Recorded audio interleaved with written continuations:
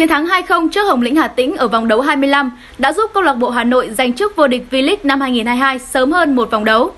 Khi tiếng gọi vãn cuộc trên sân hàng đẫy cất lên, các cầu thủ và khán giả Hà Nội vỡ òa cảm xúc, mở bữa tiệc ăn mừng. Trước khi cảm ơn khán giả thủ đô và nâng cao chiếc cúp vô địch với Hà Nội, Phạm Tuấn Hải và Lê Xuân Tú tiến về phía khán đài của các cổ động viên Hồng Lĩnh Hà Tĩnh. Hai cầu thủ của Hà Nội vỗ tay và cúi đầu cảm ơn các khán giả của đội khách. Trên khán đài, các cổ động viên tán thưởng gửi lời chúc mừng đến Tuấn Hải cùng Lê Xuân Tú với thành tích vô địch V-League năm 2022. Tuấn Hải đã có 4 năm thi đấu trong màu áo câu lạc bộ Hà Nội B, sau này là Hồng Lĩnh Hà Tĩnh. Anh trở thành một trong những trụ cột góp công không nhỏ giúp đội bóng này lên hạng chơi tại V-League năm 2020.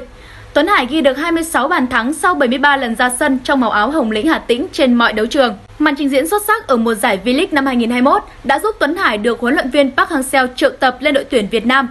Anh gây ấn tượng bởi khả năng thi đấu độc lập cùng lối chơi hiện đại. Tháng 2 năm 2022, Tuấn Hải chính thức nói lời chia tay Hồng Lĩnh Hà Tĩnh và khoác áo câu lạc bộ Hà Nội. Ở thời điểm đó, anh đặt mục tiêu cạnh tranh vị trí thi đấu tại đội bóng thủ đô. Ở thời điểm hiện tại, đoàn quân của huấn luyện viên Nguyễn Thành Công đang gặp nhiều khó khăn trong cuộc đua trụ hạng. Tuấn Hải không khỏi xúc động khi đối đầu với Hà Tĩnh.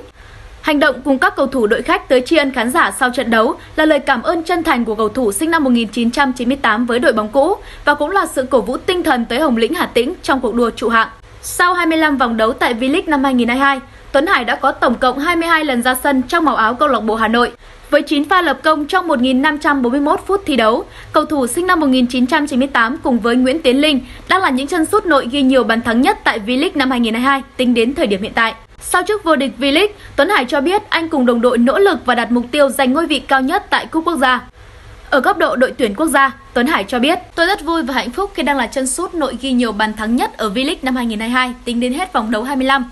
Đây cũng là thành quả cho những nỗ lực của tôi trong thời gian qua. Mỗi khi tập luyện hay thi đấu, tôi cố gắng để hôm nay tốt hơn hôm qua. Mỗi ngày nỗ lực thêm một chút. Việc tập luyện dứt điểm thường xuyên giúp tôi có cảm giác bóng tốt và duy trì phong độ ghi bàn. Nếu có cơ hội được tập trung cùng đội tuyển Việt Nam tại AFF Cup năm 2022, tôi sẽ nỗ lực tập luyện thể hiện hết khả năng của mình để được ra sân thi đấu. Với phong độ ấn tượng cùng lối chơi hiện đại, Tuấn Hải có thể trở thành nhân tố quan trọng của đội tuyển Việt Nam trong chiến dịch AFF Cup năm 2022.